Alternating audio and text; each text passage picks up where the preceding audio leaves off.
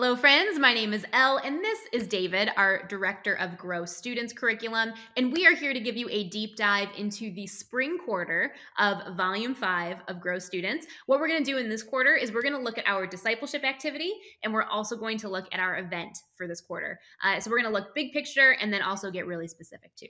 Yes. And so if you're a Grow user, this would be a great time for you to get ahead on these discipleship activity and this event for your ministry. Maybe you've already planned these ahead of time, but this is just a little deeper dive just to give you some more intricate logistics for these two things.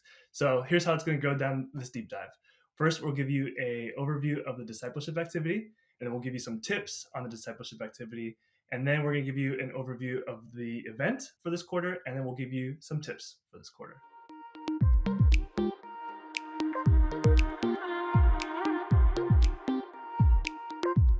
Okay, so first we're going to take a look at the discipleship activity for this quarter, which is called the Break Trail Experience. Uh, if you are also using our teaching content, then it you'll see that it kind of corresponds with the Break Trail series, which is our Easter slash Jesus series.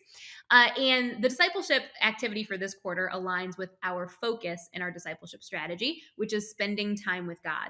Uh, we always focus on this spiritual habit around Easter time in the spring, uh, and the reason for that is because there's a great time to focus on like spiritual disciplines of all kinds prayer uh, reading scripture fasting all of that kind of good stuff can live in this quarter. So that's why we focus on this here uh, so david walk us through this activity. What is it about? What are we doing? Yes, I'm so excited that we get to do a Stations of a Cross activity, which is what this Break Trail experience is. It's a Stations of a Cross experience uh, for students. And so, like I was saying, this uh, spiritual habit is spending time with God.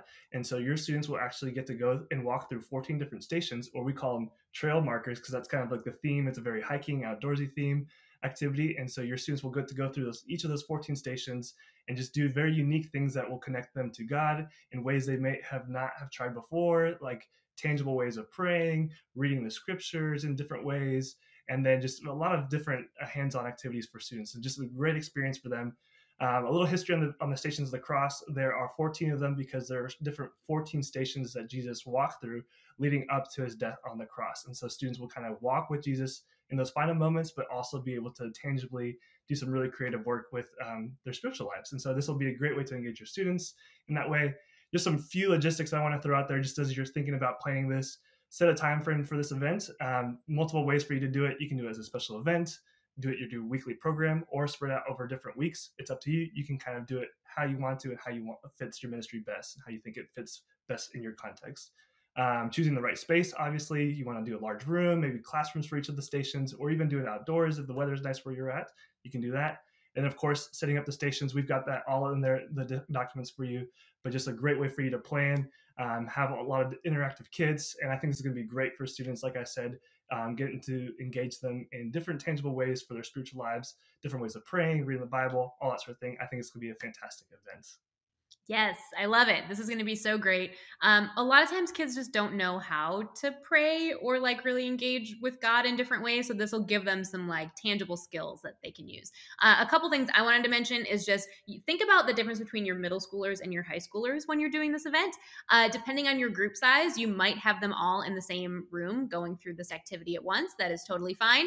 Uh, or you might think this might be better if I split them up for this one either way is cool uh, just a couple tips if you're doing middle schoolers only or you know you're combining it just remember your middle schoolers are probably going to need like a volunteer nearby to guide them through the experience. Uh, maybe even just logistically trying to get them to go to the stations in order would be useful uh, but also just kind of helping keep control of the room because this is it's not supposed to be like necessarily a somber kind of event but it should be something where you know kids aren't being super distracting for kids who are trying to engage. So you're going to want to keep your volunteers close to make sure your middle schoolers are not running wild as they are prone to do.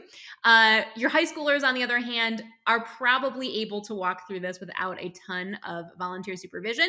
Uh, in this case, maybe your volunteers like are kind of stationed only at the stations and kind of welcome the high schoolers as they show up. You, they might not need to like actually escort them, but you know, you know your students best, you know what they need. So just keep that in mind. Keep the developmental uh, differences in mind as you're planning this so that you get the most out of it and it's not too chaotic.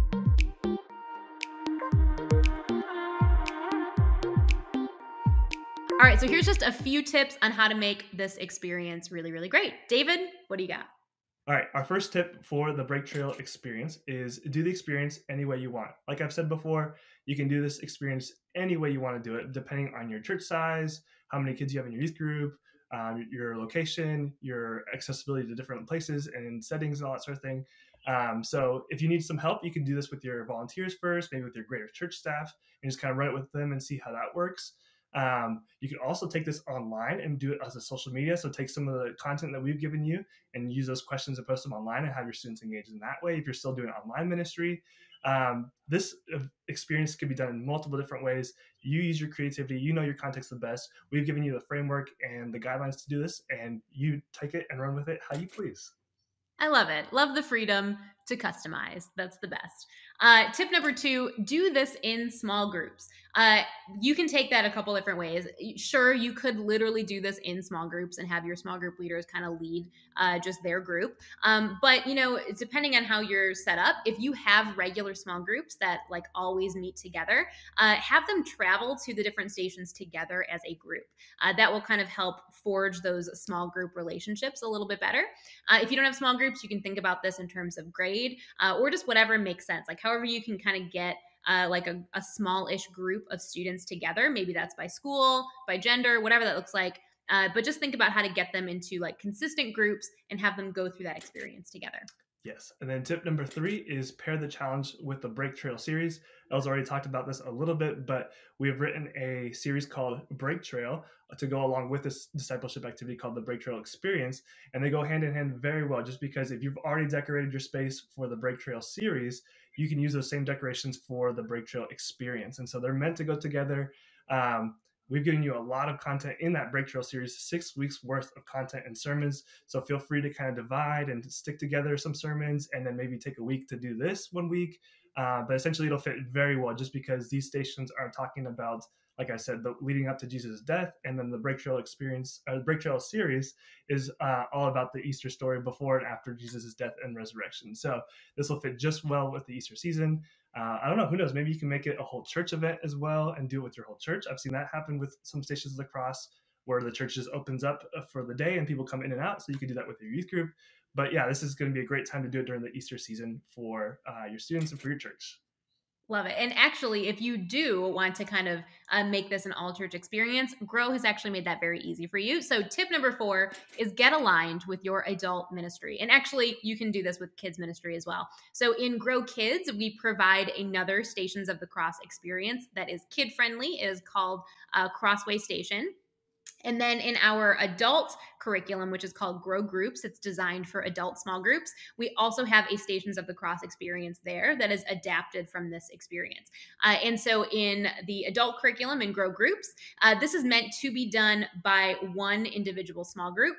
Uh, so the idea is that the group would uh, lead it, either the group leader would lead through all the different stations, or maybe assign different stations to different group members and have the different group members uh, lead different experiences for the whole group. Uh, it's a pretty cool uh, take on this that works really, really well for adult small groups. So check that out if your church is using Grow Groups. Uh, and yeah, friends, that's kind of how that works. So that is the Break Trail experience, the discipleship activity for the spring, which focuses on spending time with God. Uh, but now let's take a little detour and we're going to talk about our event for this quarter.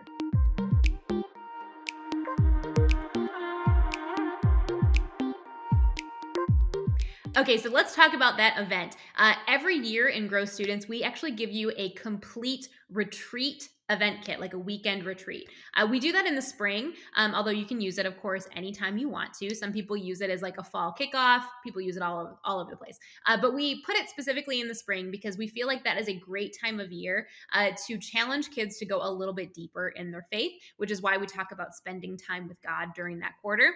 So uh, a spring retreat is a great chance to kind of like help kids reset uh, and to really just kind of go a little bit deeper in the relationships with others and also the relationship with God. God.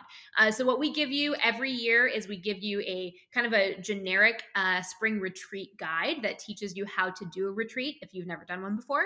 Uh, but then we also give you a series. So, that's really what we're going to focus on in this deep dive. So, David, walk us through it. What are we doing? Yes, I'm excited to talk about this teaching series. Because I think it'll be great and it fits perfectly for a retreat uh, setting. And so, this series that goes along with this retreat is called Hidden in Plain Sight.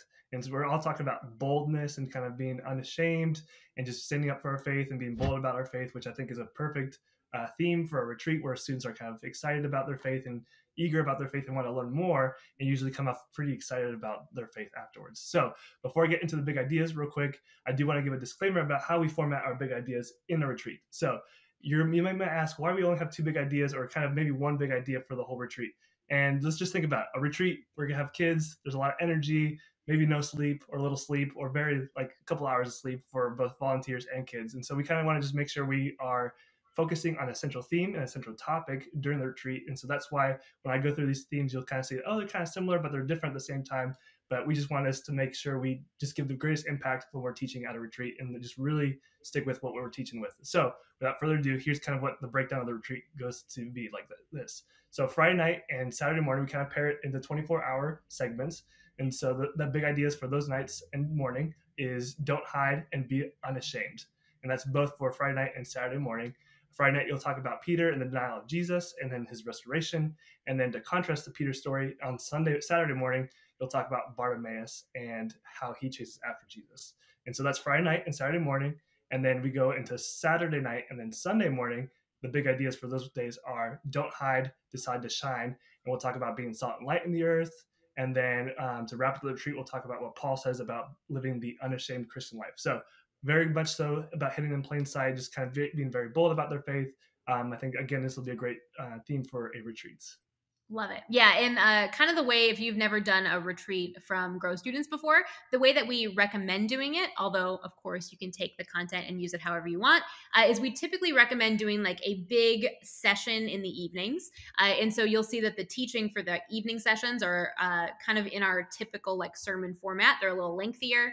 Uh, whereas in the mornings, we actually recommend doing more of like a shorter devotional time uh, because, you know, kids probably have not slept and it is early and they are not ready for another session quite yet. So, uh, we kind of give you something a little bit shorter, but still really, really great to kind of help drive all of that home.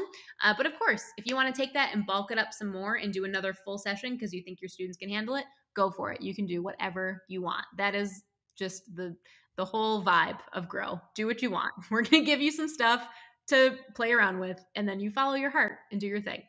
Uh, so there you go. We give you all the things that you need to plan a successful retreat, hopefully. And if there's something missing, let us know.